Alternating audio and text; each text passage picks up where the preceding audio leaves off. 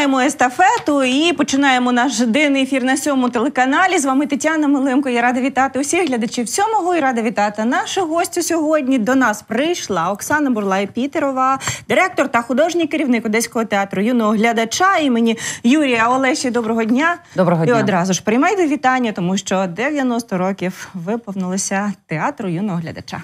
А, Дуже дякую за вітання. Так, 90 років виповнилось театру юного глядача. То як святкували? Ну, мы буквально вот 16 октября отметили наш юбилей, хотя наш театр родился дев- э, 10 мая 1930 года.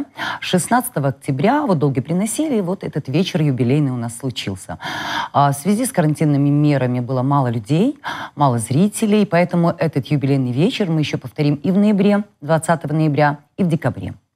Чтобы все могли посмотреть, мы сделали очень красивый дивертисмент, как я называю, представили всех актеров, сделали это такой театральный капустник, где было очень смешно, весело. Эм, Нас поздравили, очень было приятно принимать поздравления. Э, В общем, все сложилось. Це чудово, так і тим більше я так розумію, що сьогодні не найкращі часи взагалі для театру, але театр живе, і е, тим не менше це вже така велика історія. Історія не тільки театру, але й Одеси, всієї, але й країни. Так, 90 років е, це е, така ш- шановний такий. Да, это И- уже такой почтенный, почетный возраст. Э, Несмотря на то, что мы театр юного зрителя, мы считаем, что мы всегда юны, молоды, задорны, готовы к любым, к любым экспериментам. Э, Ну, не знаю, ис- история вот эм, в связи с историей как? Э, Да, это много. Потому что много людей, много зрителей прошло, много актеров. Вспомнили как раз мы многих, кого уже с нами нет. Это очень важно, потому что это история. За это время, конечно, очень много э, чего театр сделал. Это да, это уже история. Ви грали там до того, як стали керівником. Да, я м, с 91 года я была актрисой э, этого театра. Это мой любимый театр. Я его очень люблю. Я вообще фанатка театра. И можно сказать, что пошла я м, быть э, директором, художественным э, руководителем э, только из-за любви к этому театру, чтобы быть полезной, чтобы помочь, чтобы что-то сделать полезное. А які ролі переважно у вас були? От трішечки хочу. Ой, у меня разные были. У Да? меня принцессы начинала, я всяких голубых геро- героинь. Потом попросила э, через пять лет, э, ни разу я не сыграла животного. Я подошла, попросила, а можно мне какого-то животного? Мне дали лису. Очень классная такая роль. А потом я играла всяких вреден, играла разбойницу в «Снежной королеве», играла героинь всяких э, таких, э, там, э, Нечуловыцкого, Мотрика и Дашева семья. Потом чуть постарше, там, каких-то женщин, эм, кризисного возраста, я не знаю, на грани сумасшествия. Ну, ну, а Лес Островского, у меня была прекрасная роль Аксюши. В основном очень разнообразные. И вот э, слава богу, что театр давал мне разные роли. Мне как кидалось со стороны в сторону. И характерные, и героини, и ну, разные. Я очень довольна актерской своей судьбой в этом театре. Тепер ви керівник, так і можете розповісти про що сьогодні е, театр. Я маю на увазі, які п'єси є, які спектаклі є, що можна подивитися взагалі, і які прем'єри готуєте. Ну вот я, как всегда, говорю, что мы очень завидуем сами себе, и я завидую нашему театру, что у нас нет вот такой, знаете, одной направленности. Мы универсальный театр. Мы можем себе позволить все. От сказки для детей 4 плюс, 6 плюс и так далее, до классического серьезного репертуара, как у нас есть Филомена Мартурана, как у нас есть Ромео Джульетта, Лесова песня Леси Украинки.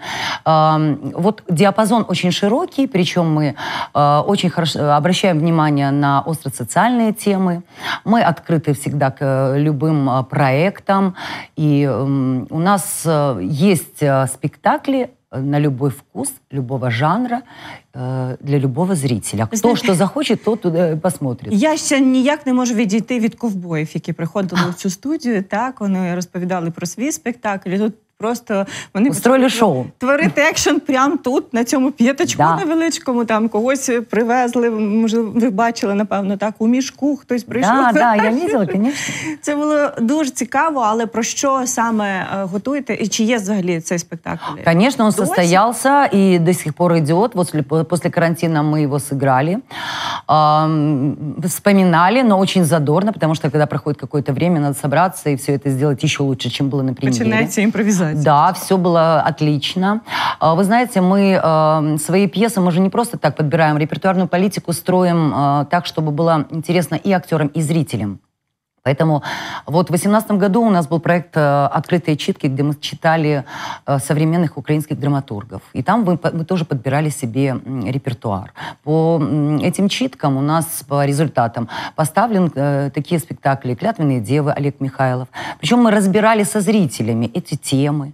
Э, ну, никто не рассказывал, да, еще в эфире, что такое «Открытые читки». Я чуть э, расскажу. Ми трішки теж говорили, але я думаю, що не буде зайвим повторити, якщо ми вже почали про це говорити. Да, это идет, э, мы собираем актеров, есть режиссер, мы берем драматурга, ну, допустим, клятвенные девы Олега Михайлова, собираются актеры, мы не просто читаем, мы как бы э, не учим просто текст, мы разбираем, мы играем, но у нас в руках текст, мы текст читаем.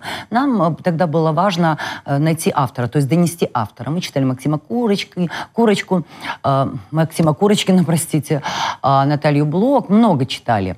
Главное, что мы обсуждали со зрителями после того. Это был как мини-спектакль, что ли. Он там музыка была, и костюмы, и все роли были разобраны, и режиссерски там было все мизансценировано даже минимально. В этом году э, в связи с карантином мы пошли дальше. Мы сделали эти уже такие спектакли в рамках открытой читки. Ну, это уже настоящие спектакли. Мы стали читать в нашем дворике театральном, надеюсь, слышали. Чехова начали читать, Тэфи начали читать. И это уже э, чуть-чуть было больше времени на это. Причем на эти читки давалось 3-5 дней. Вот надо было сделать тобто, очень против... быстро. Ага. Сейчас мы... ви маєте на увазі за 3-5 днів? Чи... Да, і показати зрителю. І продемонструвати да, да, да, Я да, знаю, що поряд із Чеховым были й одеські, так, Да, мы в, этот, в этом году мы немножечко больше дали себе времени на подготовку. И у нас таки появились такие уже спектакли. Актеры уже потихонечку начали выучивать тексты, и у нас эти листы уже так, дань, дань жанру остались. И, конечно, у нас была детские были читки, это мы впервые сделали в своем театральном дворике. Читали пьесу Оксаны Масловой э, э, «Новое платье для принцессы». Угу. Вот. От якраз про це ми й говорили тут теж з Оксаною, так колись да? тому так тому а, да, эта пьеса нашла продолжение. Мы чуть попозже с вами поговорим да, о так. том, как и какой форме. И мы очень рады сотрудничать с Оксаной Масловой. Интересно. И читали эту пьесу дети. Э, не актер, а дети театральной студии, театральной студии призвания а, для детей, дети детям и дети актерам. Это было очень интересно, потому что дети, они уникальны, как вот читать и играть. Это, конечно, дети быстрее текст учат, но это было что-то очень-очень интересное. Я также хочу сказать, что в нашем театре мы проводили уже дважды международную лабораторию молодых режиссеров. Один раз в 2015 году, другой, э, второй раз в 2018 году, где приезжали молодые режиссеры, ставили за пять дней эскиз маленький, и по результатам этой лаборатории мы тоже поставили два спектакля. А, «Маленький принц», режиссер Яника Копол, и Александр Баркар «Красная каска» по пьесе Карн Климовский. Я к чему это говорю? Как мы подбираем э, скрупулезно репертуар для наших зрителей. Э, потому что мы и такой дискуссионный у нас клуб есть, и когда мы вот в рамках читок, читок мы обсуждаем, интересно ли молодому поколению то или иное направленность. Очень много у нас, э, мы ищем пьес социальной направленности. Пьеса «Красная каска» — это о взрослении девочки, о, то отношения с родителями. Там поднимается очень такая серьезная тема. А, и вот мы подбираем, и также мы не отказываемся от классического репертуара. Вот у нас есть э, и Шелеменко Денщик, и моя профессия сеньор из общества. То есть вот так вот у нас эм, складывается пока вот такой разнообразный, интересный репертуар для всіх. Так, чудово, і все ж таки бал Чорного моря. Да. Так я бачу, що сьогодні актуальною залишається екологічна тематика, і хочеться, звісно, дітей не тільки їх розважати, але й навчати чомусь. Мені здається, це важливим. Я розумію, що театр теж е, це наслідує так для того, щоб е, і розважити, і щось вкласти у ті голівки, так невеличкі. Ну, звісно, розважити в меншій степені, а вкласти в ті голівки, як ви кажете, в більшій степені. Взагалі, театр, звісно, я считаю, назначение театра прежде всего это поднимать и задавать вопрос, поднимать темы актуальные и задавать вопросы. Как решать зрителю, ну, отвечать на эти вопросы зрителю. Поэтому наша миссия такая. А, я хочу сказать, что вот то, что мы говорили, что Оксаной Масловой мы познакомились, прочитали, сделали читки во дворе, это нашло продолжение дальше. Мы сейчас, благодаря этому сотрудничеству, участвуем а, в таком а, совместном проекте с Европейским Союзом программы развития ООН, усиление экологического мониторинга Черного моря, избранные мероприятия «Эмблес плюс». То есть э, мы сотрудничаем, и куратором является Елена Марушевская, участник проекта, проекта совершенствования экологического мониторинга Черного моря «Избранные меры». Э, вот, куратор экологической группы «Фаны Черного моря» является Елена Маруш, Марушевская. а, что будет а, там? Сейчас немножечко расскажу подробнее. Буде бал Чорного моря. Уповню, 31 октября в 15.00 у а нас состоится, да, Чика. сейчас чуть позже, а, состоится спектакль, который называется «Бал Черного моря» по пьесе Оксаны Масловой. Также в рамках всего этого мы провели а, конкурс детского рисунка. Вы зараз говорите, як на сцені. Да? да. Картинная галерея. Представляю спектакль, да. А теперь? Э, картинная галерея Бала Черного моря. Назывался конкурс рисунка детского.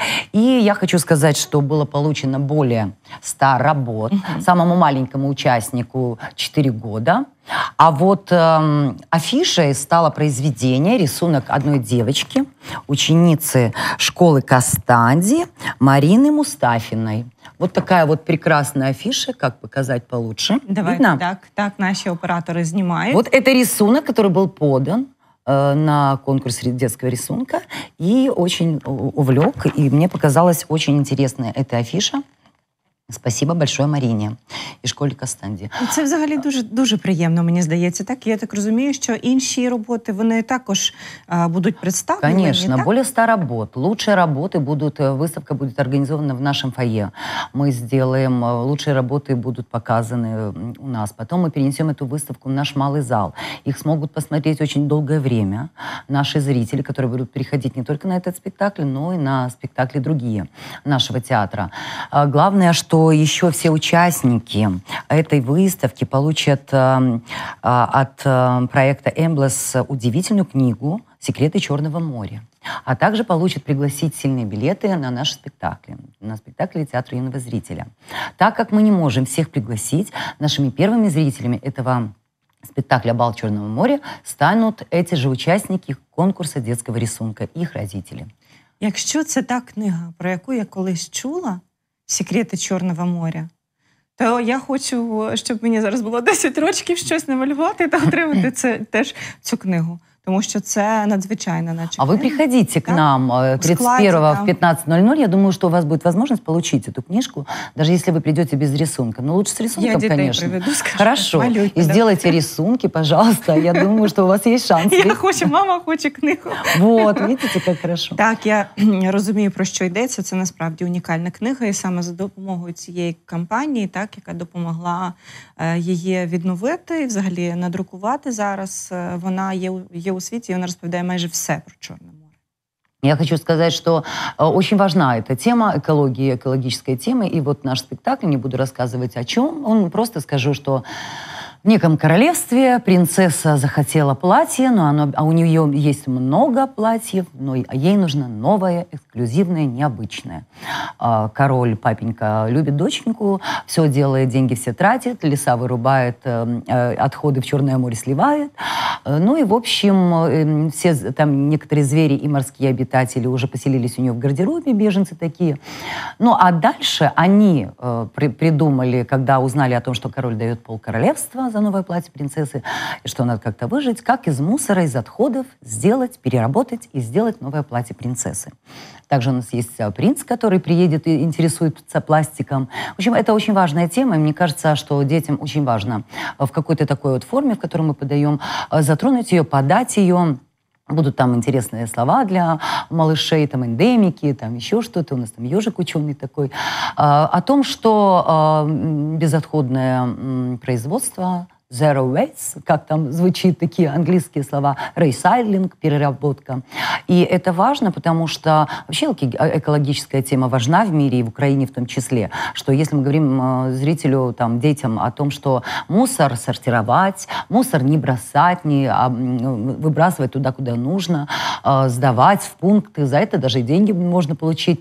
Заводы нужны, потому что, а еще они должны быть эм, Э, такими, чтобы не загрязнять э, среду. И вот все эти темы, все эти такие вопросы поднимаются. Это очень важно. И в такой очень игровой э, форме Для детей, мне кажется, там будет очень интересно. Там будут и песни, и песни, и танцы, и ну, интересные животные, там и принцессы, король, короле, королевы нету, эм, принц, король, принцесса. Вот, и они там и посмеются, и потанцуют, думаю, и потопают, и похлопают, и что-нибудь в конце винесуть для тебе полезне, обов'язково. Це чудово. Так, е, отже, я розумію все одно, що зараз карантин, і треба е, так якісь е, міри Приймати. Це буде не повний зал, тому не можу говорити про те, що давайте там приходьте, аби був повний зал. От Як має це виглядати? Чи варто реєструватися, чи Можливо, тільки за запрошеннями можно потрапити на премьеру? Ну, на эту премьеру у нас придут только по пригласительным. А следующее мероприятие, надо следить за нашими анонсами, афишами. Конечно, оно будет. Я думаю, что оно будет э, в ноябре, в конце ноября, в начале декабря. Мы э, будем, конечно, приглашать зрителей.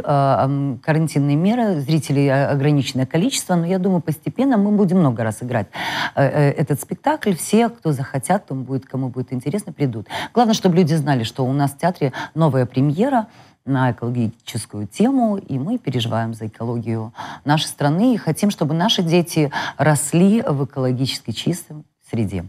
І страні. Давайте ще раз запросимо в театр юного глядача, тому що незважаючи на карантинні заходи, так все одно сьогодні хочеться артисту виходити на сцену, а е, маленьким глядачам дивитися спектаклі. Все одно культура має розвиватися, хоча й в такому вигляді. Давайте запросимо ще раз. Давайте. Приходите к нам в театр. А, пожалуйста, двери всегда открыты, карантинные меры соблюдаются. Всех примем, и вы будете счастливы, довольны. А мы тоже будем очень-очень рады вас видеть, как всегда. А, в Театре юного зрителя работает и утром, и вечером для детей и для взрослых. Дякую вам. Була теж у вас у гостях, і хочу подякувати і від себе, і від дітей своїх. Так і нагадати усім глядачам. В гостях у нас Оксана Бурлай Пітерова, директор та художній керівник Одеського театру юного глядача імені Юрія Олеші. Ще раз дякую вам. Це був денний ефір на сьому. Провели його з вами Тетяна Малимко. Усього найкращого.